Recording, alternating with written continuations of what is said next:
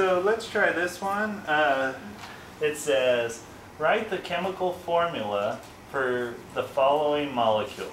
And it gives you lysine, an amino acid with six carbons, 14 hydrogens, two nitrogens, and two oxygens.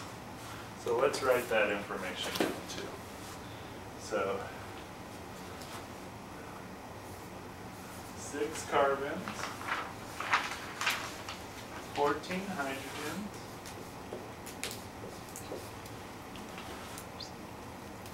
two nitrogens, and two oxygens. Okay, so remember, whenever you're writing the molecular formula for these molecules, you don't want to write it like this or any other weird way. It's just you're going to connect all these atoms in a row with these numbers here being subscripts behind each of the atoms, okay?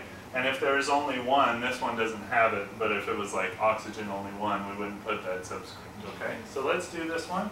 So remember, what did I say? So you put the atoms and then the number as a subscript, mm-hmm. okay? So C, 14, H14, like that.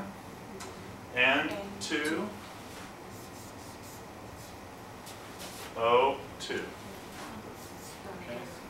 So don't write them as big numbers. Don't write them in front. Okay, they have to be below as a subscript and behind the actual letter that they um, are indicating how many atoms are in that molecule. Any questions on this one? No. Okay, No, good.